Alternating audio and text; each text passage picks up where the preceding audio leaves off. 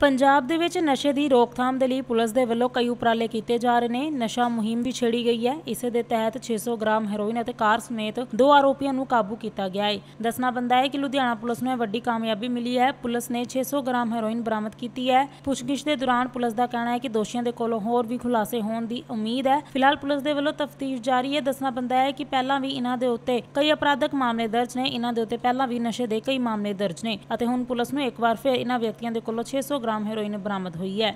ਲੁਧਿਆਣਾ ਤੋਂ ਅੱਜ ਦੀ ਆਵਾਜ਼ ਦੇ ਲਈ ਪੱਤਰਕਾਰ ਰਾਜੀਵ ਵਿੱਕੀ ਦੀ ਰਿਪੋਰਟ। ਸਾਡੇ ਮਾਨਯੋਗ ਡੀਜੀਪੀ, ਐਸਟੀਐਫ ਚੀਫ ਪੰਜਾਬ ਅਤੇ ਸ੍ਰੀ ਸਨੇਹਦੀਪ ਸ਼ਰਮਾ, ਮਾਨਯੋਗ ਏਆਈਜੀ, ਐਸਟੀਐਫ ਲੁਧਿਆਣਾ, ਰੇਂਜ ਜੀ ਦੇ ਦਿਸ਼ਾ ਨਿਰਦੇਸ਼ਾਂ ਅਨੁਸਾਰ ਜੋ ਨਸ਼ੇ ਦੇ ਵਿਰੁੱਧ ਇੱਕ ਸਪੈਸ਼ਲ ਮੁਹਿੰਮ ਚਲਾਈ ਗਈ ਹੈ, ਸਾਨੂੰ ਕੱਲ ਉਸ ਵਿੱਚ ਇੱਕ ਵੱਡੀ ਸਫਲਤਾ ਹਾਸਲ ਹੋਈ, ਜਦੋਂ ਸਾਡੀ ਪੁਲਿਸ ਪਾਰਟੀ ਨਸ਼ੇ ਦੇ ਤਸਕਰਾਂ ਦੀ ਤਲਾਸ਼ ਦੇ ਸਬੰਧ ਵਿੱਚ ਫਲਾਵਰ ਚੌਂਕ, ਏਰੀਆ ਥਾਣਾ, ਸਦਰ, ਲੁਧਿਆਣਾ ਹਾਜ਼ਰ ਸੀ, ਜਿੱਥੇ ਸਾਡੀ ਪੁਲਿਸ ਪਾਰਟੀ ਨੂੰ ਇੱਕ ਬੜੀ ਭਰੋਸੇਯੋਗ ਸੂਚਨਾ ਹਾਸਲ ਹੋਈ ਕਿ ਦੋ ਆਰੋਪੀ ਰਜਤ ਅਰੋੜਾ ਉਰਫ ਰਾਜੂ ਅਤੇ ਅਜੇਪਾਲ ਸਿੰਘ, ਵਾਸੀ ਕੋਟ ਮੰਗਲ ਸਿੰਘ ਜਿਨ੍ਹਾਂ ਦੋਵਾਂ ਨੇ ਇੱਕ ਕਾਰ ਦੇ ਵਿੱਚ ਰਜਤ ਅਰੋੜਾ ਦੇ ਘਰੋਂ ਮ- ਮਾਨਕਵਾਲ ਇਨਕਲੇਵ ਤੋਂ ਭਾਰੀ ਮਾਤਰਾ ਦੇ ਵਿੱਚ ਹੈਰੋਇਨ ਸਪਲਾਈ ਕਰਨ ਦੇ ਲਈ ਲੁਧਿਆਣਾ ਵੱਲ ਨੂੰ ਜਾਣਾ।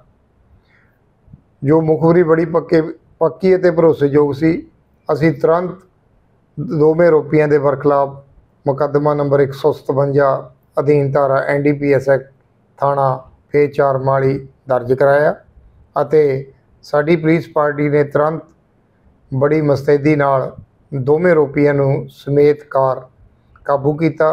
ਕਾਬੂ ਕਰਨ ਤੋਂ ਬਾਅਦ ਜਦੋਂ ਇਹਨਾਂ ਦੀ ਕਾਰ ਦੀ ਹਸਪ ਜ਼ਾਬਤਾ ਤਲਾਸ਼ੀ ਮਾਨਯੋਗ ਡੀਐਸਪੀ ਸ਼੍ਰੀ ਅਜੇ ਕੁਮਾਰ ਜੀ ਦੀ ਜੇਰ ਨਿਗਰਾਨੀ ਅਤੇ ਹਾਜ਼ਰੀ ਦੇ ਵਿੱਚ ਕੀਤੀ ਤਾਂ ਕਾਰ ਦੇ ਵਿੱਚੋਂ ਸਾਨੂੰ 650 ਗ੍ਰਾਮ ਹੈਰੋਇਨ ਬਰਾਮਦ ਹੋਈ।